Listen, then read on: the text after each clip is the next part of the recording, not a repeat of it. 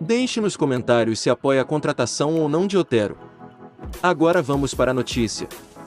O Fortaleza tem negociação avançada com o meia venezuelano Romulo Otero, ex-Corinthians e Atlético Mineiro.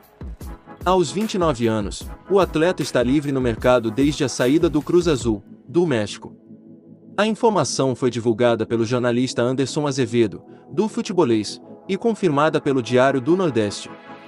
O jogador tem como principais atributos a finalização e a qualidade na bola parada. Com convocações frequentes para a seleção da Venezuela, busca retomar um momento de maior protagonismo na carreira. A saída do futebol mexicano ocorreu após 16 partidas e um gol. No Fortaleza, o planejamento é de disputa pela titularidade, sendo uma opção mais ofensiva. Para a sequência do ano, o clube anunciou as contratações do volante Lucas Sacha e do atacante Thiago Galhardo. A dupla será regularizada na janela de transferência de 18 de julho. Otero foi revelado pelo Caracas VN e acumula passagens pelo Achipato Xi e Alveda Ara. No Brasil, o melhor momento foi no Atlético Mineiro, onde atuou entre 2016 e 2020, com 135 partidas, 26 gols e 21 assistências.